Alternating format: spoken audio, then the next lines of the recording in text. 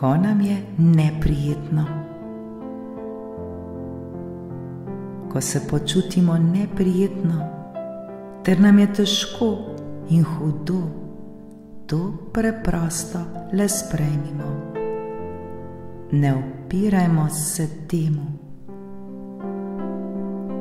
Čim prej poskušajmo najti vero. Morda ne bo vedno lahko, vendar čim prej poskušajmo najti novo, svežo ter prijetno misel, ki bo v nas vzbudila olajšanje.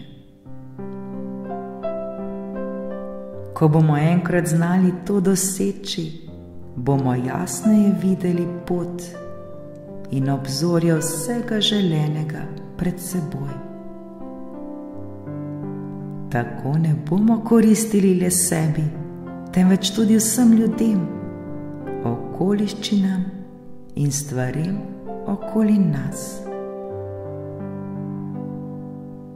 Tako se bomo odprli za še več ljubezni ter radosti v svojem življenju, in k nam bo prišlo še več želenega.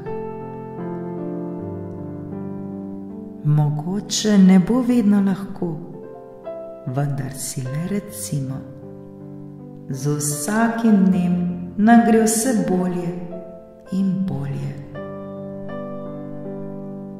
Z vsakim dnem mi gre vse bolje